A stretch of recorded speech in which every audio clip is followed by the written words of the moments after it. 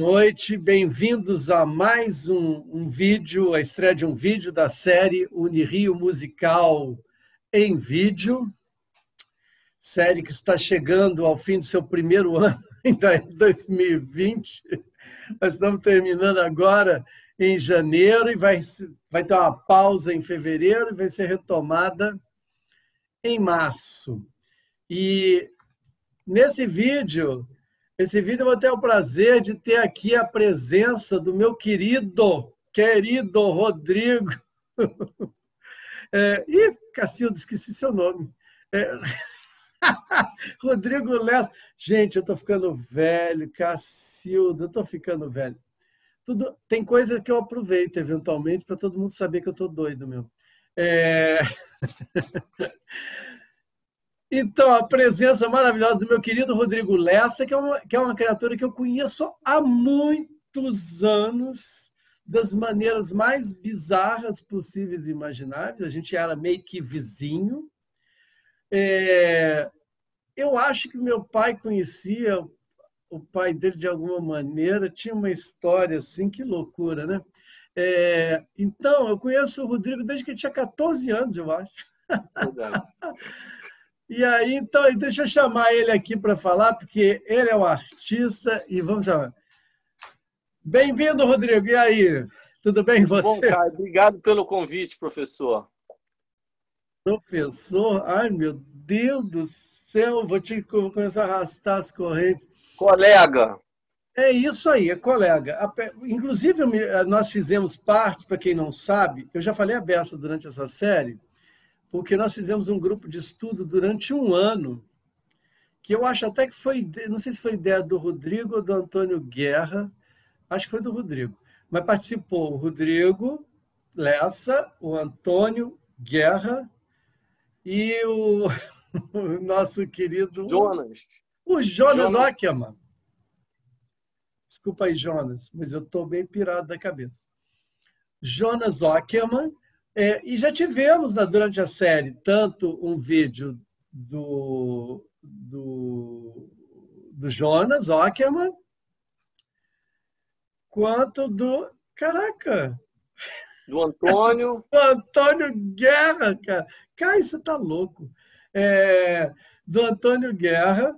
E agora nós vamos fechar com, com o, o, Rodrigo Lessa. Então a gente teve esse grupo de estudos que começou com estudando Stravinsky, depois virou umas coisas mais aleatórias, teve também a, quadros de uma exposição na orquestração de Ravel, tudo isso coisas dele. E assim, na verdade era um grupo de estudo, onde eu fazia parte do grupo, eu não era professor, coisa nenhuma, eu estava ali... Não, você era nosso professor, você foi de uma generosidade ímpar, você ensinou muita coisa para a gente, você organizou tudo e a gente ficava lá dando pitaco, é, piruando e viajando em cima. Você foi nosso esteio, nossa, nossa estrutura foi realmente de uma generosidade e uma coisa muito rica na minha vida que eu não vou esquecer muito, nunca e que eu sou muito grato.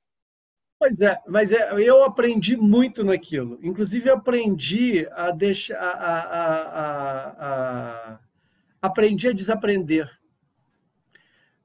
Inclusive com o Antônio Guerra, que pirava na batatinha assim, enlouquecidamente, e, na verdade os piros deles eram, é, eram maravilhosos, e eu aprendi a desaprender, que é a melhor coisa que a gente faz na vida. Então, Rodrigo, esse vídeo é sobre o seu trabalho, trabalho de algum tempo atrás. É, eu sei que você tem um trabalho recente que você está lançando agora, né?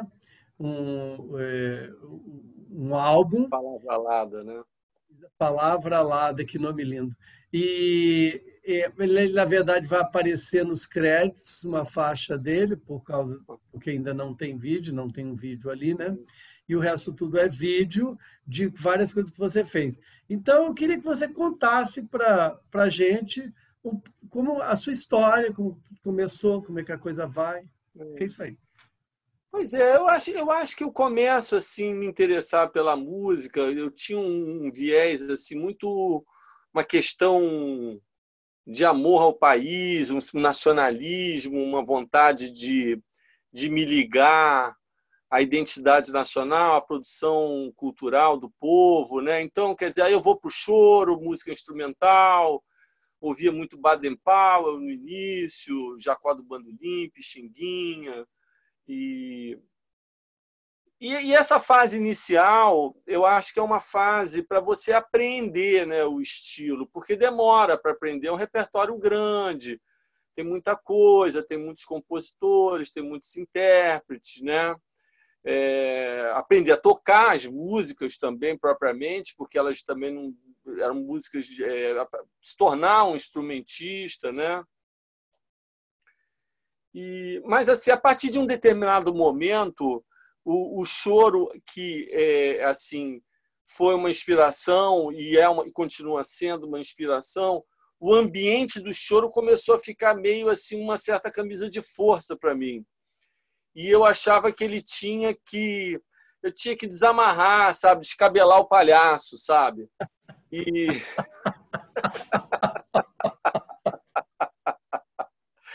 é, tinha que dar uma descabelada, tá entendendo? No, no, no negócio, né? E aí meu, meu lance foi esse. Aí aconteceu que eu estudava o choro mas eu também estudava economia, eu era músico amador, eu ganhei concurso de choro, festival de choro, não sei o quê. Aí eu me formo em economia e, e passo para o mestrado da Unicamp, mas aí eu tranco e digo assim, cara, eu preciso matar essa questão na minha vida, sabe? Esclarecer essa questão. Eu vou fazer música ou eu vou fazer economia, tá? E aí eu viajei para a Europa, eu tinha um amigo meu que você acha deve ter conhecido, o Márcio, que morava lá na Lagoa, que tocava cavaquinho e tudo, né? Também era nosso vizinho e tudo.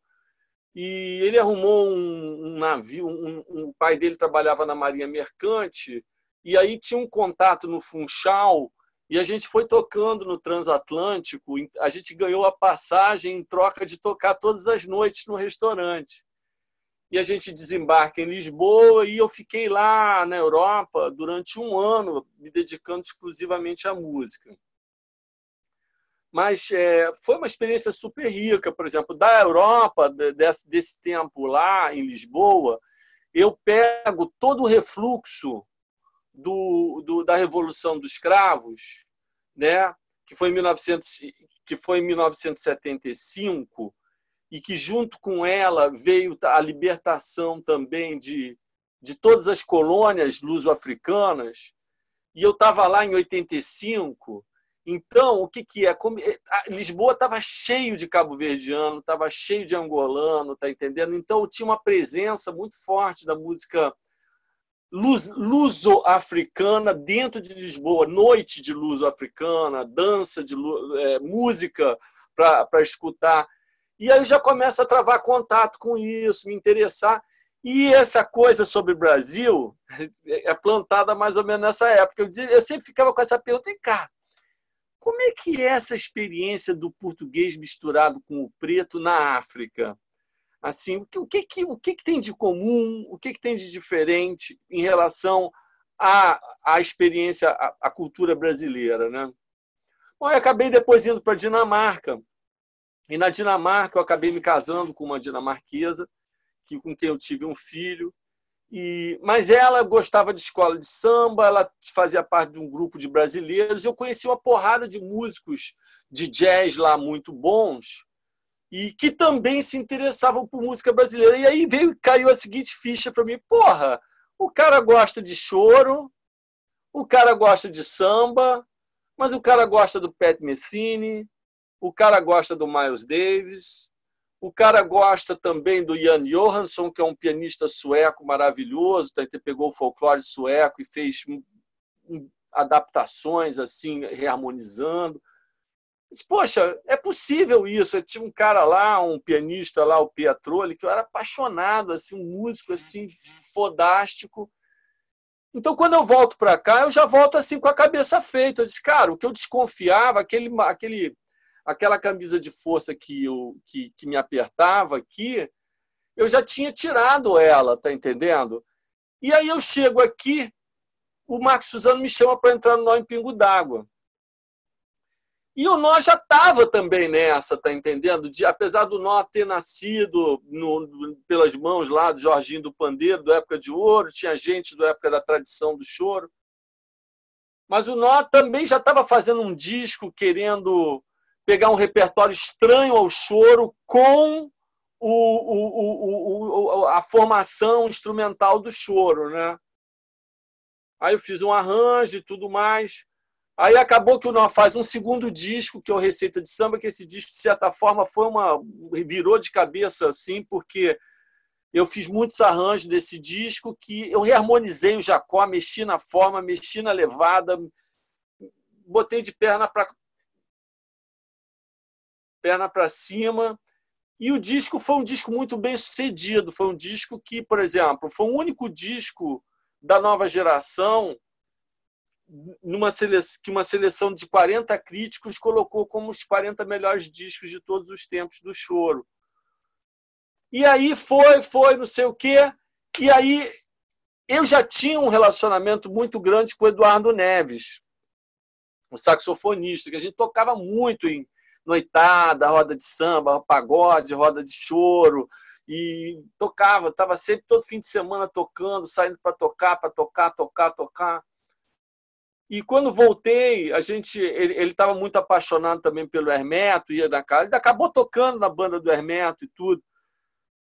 Mas um dia eu fui, eu fui tocar no, no, no Beco das Sardinhas, eu falei, Eduardo, a gente tem que fazer uma música é, é, a gente tem que fazer um show nesse lugar, porque esse lugar é a cara do Rio, tem a alma portuguesa, tem a coisa festiva africana e tudo mais e a gente fez o Pagode Jazz Sardinhas Clube. Quando a gente terminou de fazer essa música, a gente disse, ah, tem um som aqui. Essa música não é só uma música, ela é um som. Porque eu acho que é uma coisa, é, seria o tropicalismo instrumental carioca, uma coisa antropofágica, tá entendendo? Porque ali tinha funk, ali tinha coisa eletrônica, tinha choro, tinha samba, tinha o pagode, tinha festa, tinha o virtuosismo, tinha uma porrada de coisa. Aí o Edu, chamou o, o, o, o Xande na bateria e o Edson. Eu estava fazendo arranjo para o Ginga, para os discos do Ginga, né? Eu tinha feito já para um e ele me chamou para fazer dois arranjos no outro disco, que era o Suíte Leopoldina. E eu vi o Lula Galvão gravando, tá entendendo? Eu fiquei apaixonado, tá? que quem não fica. E o Esguleba também estava gravando, porque ele gravou numa música. Aí eu falei, então eu vou chamar o Lula e os Guleba. Ele falou, legal. Aí eu liguei para o Rildo e falei, Rildo, quem que você indica de trombone? Ele falou, Roberto Marques. Aí eu liguei para o Roberto. Aí a gente faz um ensaio e meio, a gente faz um show lá na, no Espaço Cultural Sérgio Porto, a casa lotada, divulgação zero, tá entendendo? A gente termina o, o, o show, vamos gravar um disco. Foi assim. E aí, sei lá, três semanas depois a gente estava no estúdio e o disco foi lançado sem nenhuma gravadora, nada. Em seis meses ele já estava em todos os continentes. E a gente começa a receber recado de músicos de jazz famosíssimos dizendo que adoravam e tudo mais, etc. Foi um, foi um acontecimento assim o, o disco, assim sacudiu completamente a música instrumental. Tanto é que a gente ganha o prêmio Tim no segundo disco, que na verdade o disco que tinha ganho o prêmio Tim era o primeiro, tá entendendo? Mas o primeiro ninguém conhecia ainda, era, era, uma, era uma, uma maluquice, tá entendendo? Ainda não tinha construído aquele consenso sobre, né? E nesse processo que eu volto da Europa, eu começo a estudar música com Sérgio Benevenuto, que foi meu, meu um grande professor e, e, e, ele me apresenta o Tom Jobim, que foi uma pessoa que eu me apaixonei perdidamente. Estudei pra caralho o Tom Jobim, tá entendendo? Chegou uma hora, eu dava aula de harmonia no curso lá do Sérgio. Teve uma época que eu estava tão apaixonado pelo Tom que eu disse assim: esse curso eu só vou dar exemplo do Tom Jobim. Coitados dos alunos. É, eu, eu, disse assim, o Tom, o Tom Jobim ele é o curso inteiro e ainda sobra. Porque tem todo aquele empréstimo da subdominante, empréstimo da dominante, é, dominante secundária, não sei o que, aqueles assuntos todos que vai. Mas o Tom Jobim dava conta de tudo, né? Dava conta lindamente, né? gloriosamente, né? E aí eu sempre tive essa coisa com a canção também, né? Aí tentei fazer uns discos cantando, não sei o quê. Hoje eu desisti, não vou cantar mais. Resolvi que quero me dedicar à composição prioritariamente. Né? O lance de tocar, para mim, assim, eu quero tocar para ter um contato de estar tá com a mão na música, sabe? Mas assim, mas eu acho que a minha principal cara é a do compositor e do arranjador. Então, de certa forma, eu acho que eu falando isso que eu falei para você, é, eu, eu, mais ou menos falo um pouco sobre tudo que, que você vai mostrar aí, porque o Equador e o Ralacocha, de certa forma, tem a ver com essa, esse interesse das Ilhas Mestiças, que foi a música do Cabo Verde, a música de Cuba e do Brasil, né? quer dizer, essa mestiçagem ibero-africana, né? O que, que é isso, que é uma coisa ancestral, uma coisa que tem a ver com os árabes também, né? E o que, que havia de comum, o que, que havia de diferente, né? O pagode jazz eu falei já bastante, o Nó em Pingo d'Água eu falei, e a canção eu falei que vai aparecer tanto no Rueira, né, que foi um trabalho, porque a, o Rueira é um disco que eu fiz as parcerias minhas com a Manu da Cuíca. A Manu da Cuíca ela tem hoje, deve ter 20 anos menos que eu. Mas eu era muito amigo do pai dela. Deve ter, não, tem. 20 anos menos que eu. Eu era amigo do pai dela, né? Porque o pai dela já morreu, tá? O Ricardo. E ele era uma pessoa adorável, assim, uma pessoa cultíssima, engraçadíssima, a pessoa mais gentil, educada, assim, era, era um diplomata, era aquela pessoa que senta numa sala faz a sala feliz, sabe? Um cara que sabe conversar, sabe ser agradável, que tem assunto sobre tudo, que se, ele se interessa, ele é interessante também porque ele era interessado, ele se interessava por tudo. Uma pessoa adorável. E, e eu tinha uma amizade grande por ele, uma, um, um relacionamento, uma proximidade. Um dia eu recebo um convite no Orkut de uma menina vestida com a roupa do Flamengo, a bola no pé, é, dizendo que tinha feito um blog que queria ver se eu me interessava em colocar música em alguma das letras dela. Aí eu vi lá Manuela Oiticica, eu perguntei, vem cá, você tem algum parentesco com o Ricardo? Ela, sou filha dele. Eu falei, pô, por que você não falou? Aí a gente começou a compor, a compor, a compor, fizemos até um musical. E acabou que ela tinha uma, uma conexão muito grande com a Marina Iris, porque elas foram colegas de, de faculdade de letras. E ela fazia essas boemias de, de, de bip-bip, de noitada, de samba, que eu já não faço mais. Eu parei com isso. Entendeu? Eu fiz muito, hoje não faço mais. Mas ela faz. E sempre onde eu via ela numa dessa, ela estava com a Marina, sempre com a Marina. Aí um dia eu fui ver um show que ela fez com o pessoal do BIP, cantando uma música, e com o, o Lúcio São Filipe, cantando uma música do aquele compositor de samba paulista maravilhoso que fez Ronda, o Vanzolini. Paulo Vanzolini, lá, Paulo, é, repertório da minha mãe. É, é muito bom ele, né? Ele é maravilhoso. Só um segundinho. Nós estávamos no Twilight Zone e agora está escurecendo mesmo, então aqui acendi a luz. Manda. E aí, e aí eu vi, aí eu vi lá, tava, tava cantando Lúcio Sanfilippo e a Marina. E eu disse, essa Marina é uma cantora top. Tá entendendo? Ela não, tem, ela não, ela, ela não, ela não, não, não precisa de nada, ela tem tudo. Ela tem timbre, ela tem ritmo, ela tem interpretação, ela tem afinação, ela tem potência, ela tem tudo que uma cantora boa precisa ter, né? Aí eu falei, ô Manu, vamos, vamos falar com a Marina, ver se ela topa. Aí a, aí a Marina topou. E aí a gente fez esse, esse, esse disco Rueira a seis mãos. É isso. Muito bem. E, e, você tem esse trabalho novo que você está lançando, né? Você fala um pouquinho pois nele. É. Pois é, o Palavra Lada, o Palavra Lada, cara, é, é, é, é, bem interessante, porque ele tem a ver com muita coisa na minha vida. Né? Primeiro, quando eu resolvo músico, o que eu queria mesmo, mesmo, mesmo, mesmo, era escrever para orquestra. Entendeu? Estudei para isso, estudei contraponto, estudei fuga, estudei técnicas de orquestração e tudo mais. Mas o que aconteceu foi que primeira vez que eu tive a oportunidade para escrever para uma orquestra de cordas foi no disco do Ginga. Tá entendendo? Que aí tinha lá uma grana, tinha uma estrutura, etc, não sei o quê.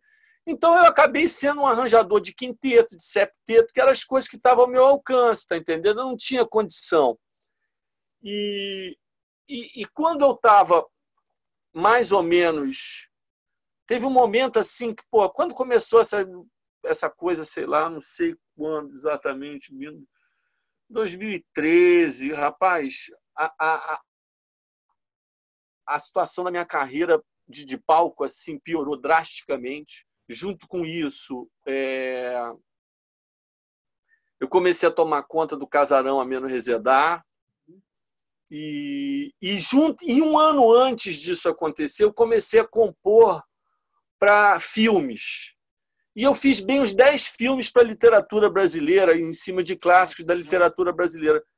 Mas eu tive a, a, a, ali a, condição de trabalhar, era trabalhar com sample.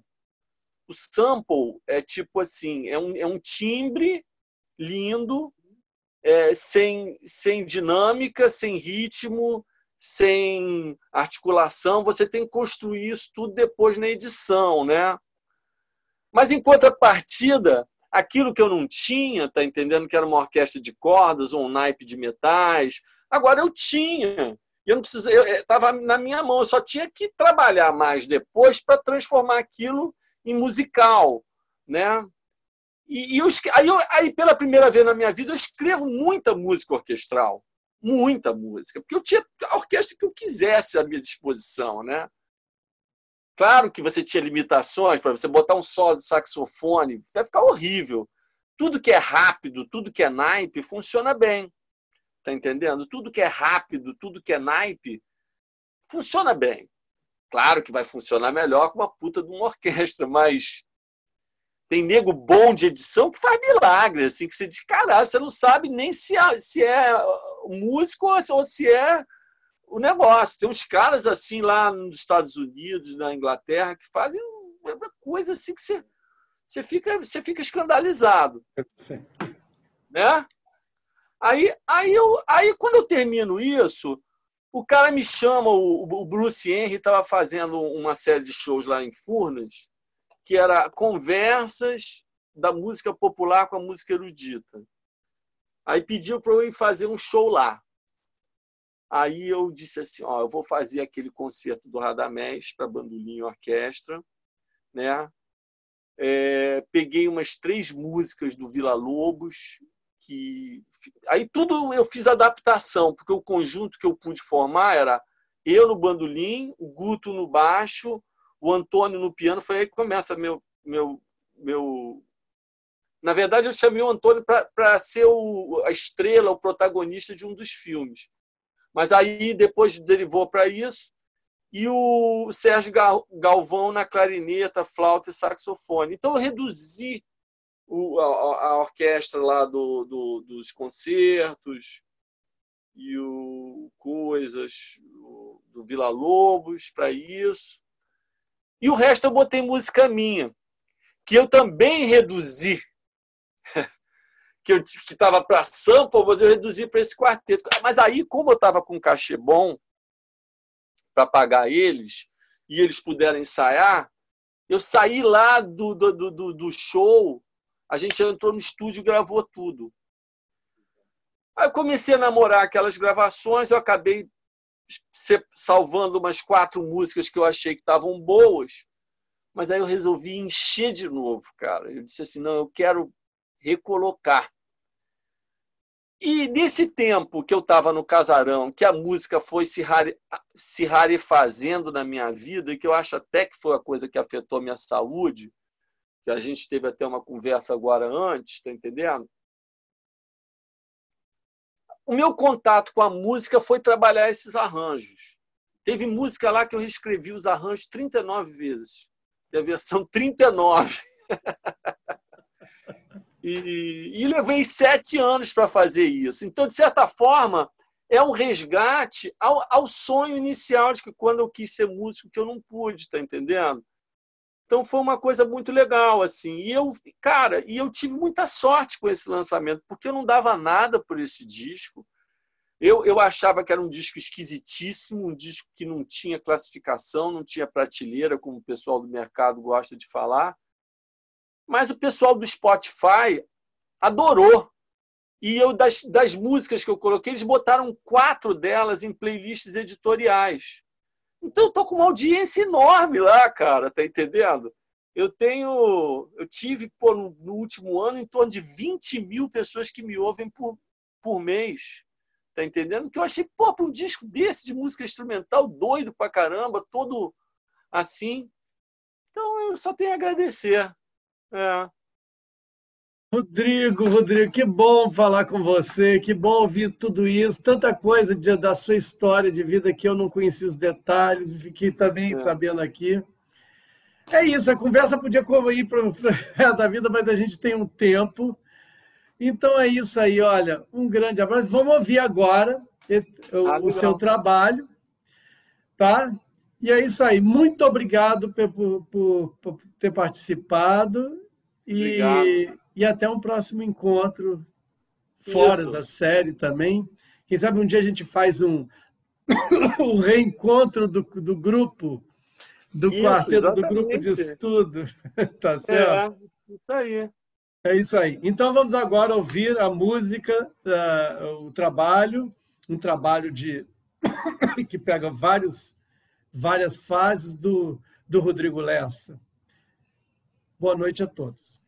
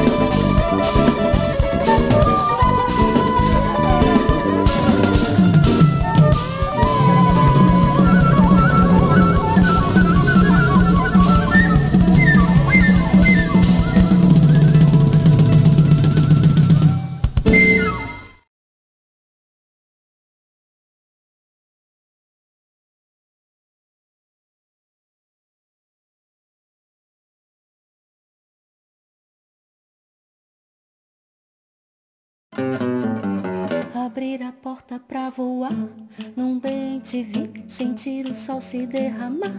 Igual dali, olhar um tantinho para o mar, lembrar ao dir todos que não puderam vir.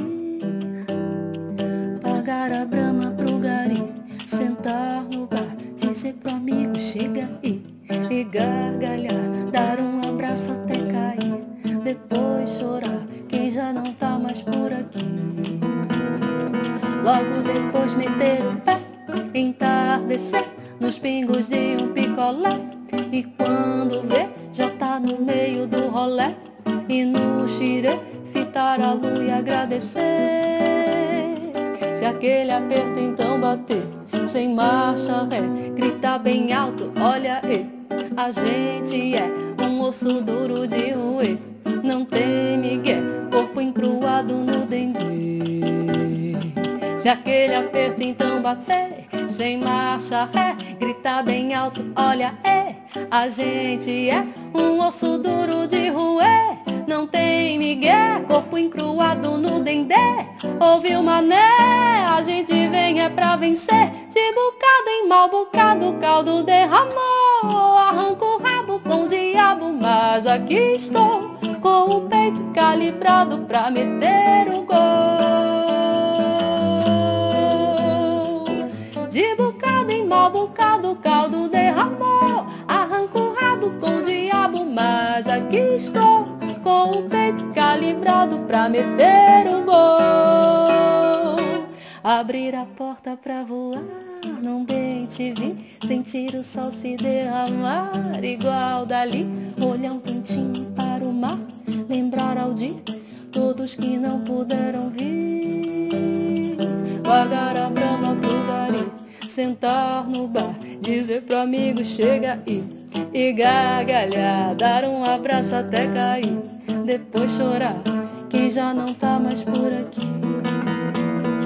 Logo depois meter o pé, entardecer nos pingos de um picolé. E quando vê, já tá no meio do rolé. E no xirê, fitar a lua e agradecer. Se aquele aperto então sem marcha ré, gritar bem alto, olha aí.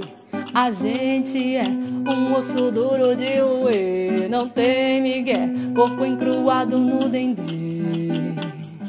Se aquele aperto então bater, sem marcha ré, gritar bem alto, olha, é, a gente é um osso duro de roer, não tem migué, corpo encruado no dendê. Ouviu mané, a gente vem é pra vencer, de bocado em mal bocado, caldo derramou, arranca o rabo com o diabo, mas aqui estou, com o peito calibrado pra meter o gol. De bocado em mal bocado, caldo derramou. Arranco o rabo com o diabo, mas aqui estou. Com o peito calibrado pra meter o gol.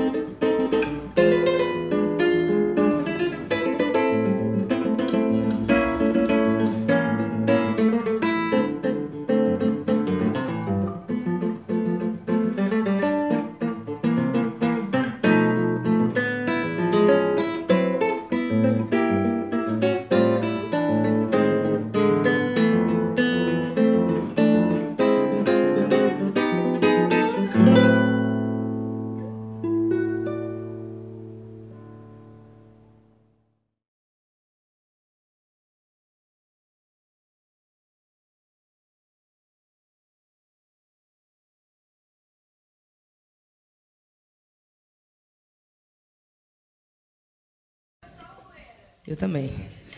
Você vai entender tudo então agora. Você vai se achar muito ruim, negócio de 200 latas de isopor.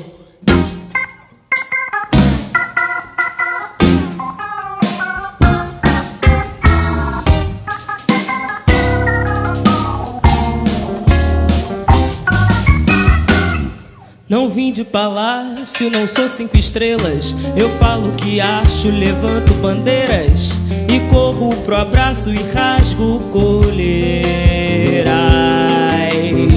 Até perco o passo pra não dar rasteira. Não tem golpe baixo, minha capoeira.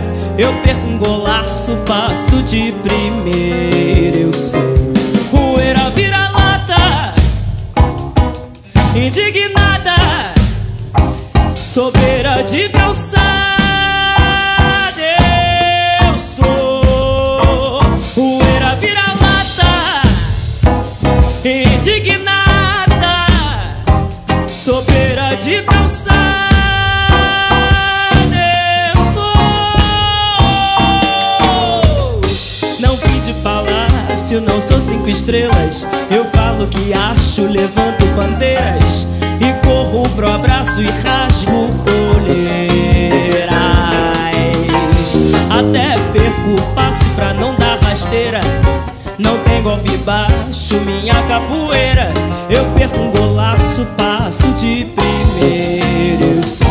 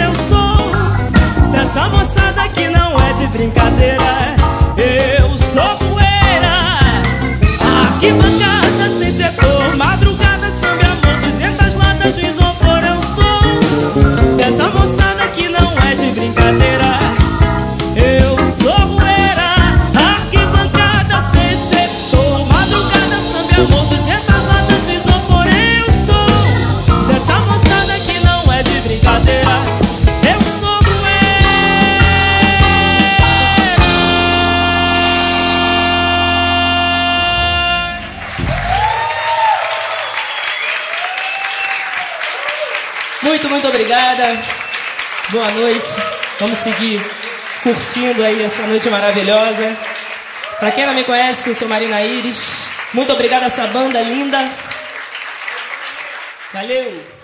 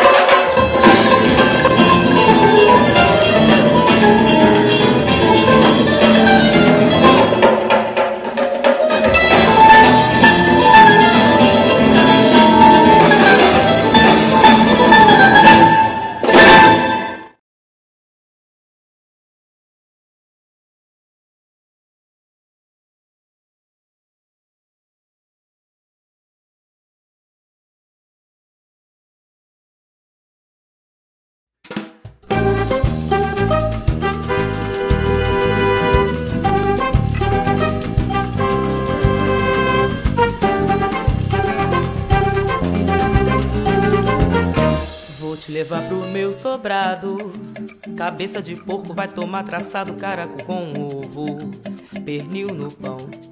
Vou te levar domingo pra ver o Mengão. Vou te levar comigo pra encostar o umbigo em ladrilho de balcão.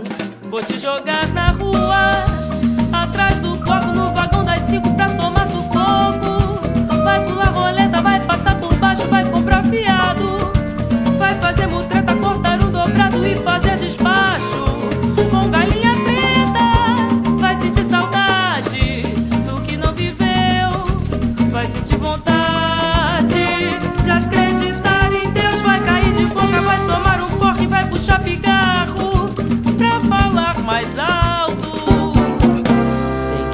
cada palavra.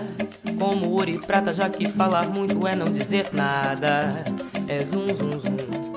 E quando for na água, tem que ir pro fundo, parecer de casa e entender do mundo. Ser versado nos assuntos. Vai achar teu boleiro, vai pôr no chinelo pra descer do salto, vai cair na vida. Empurra com a barriga, deixa pra depois, vai jogar biriba.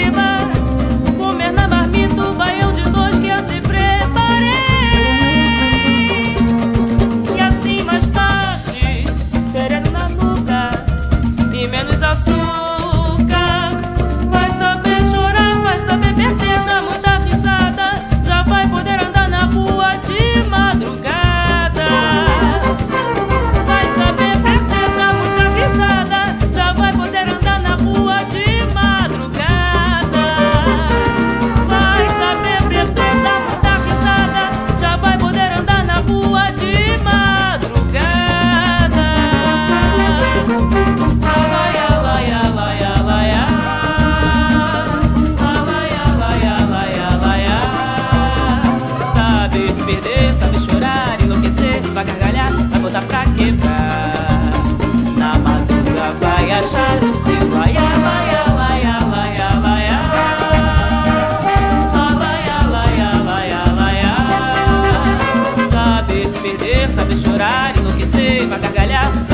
Sabe se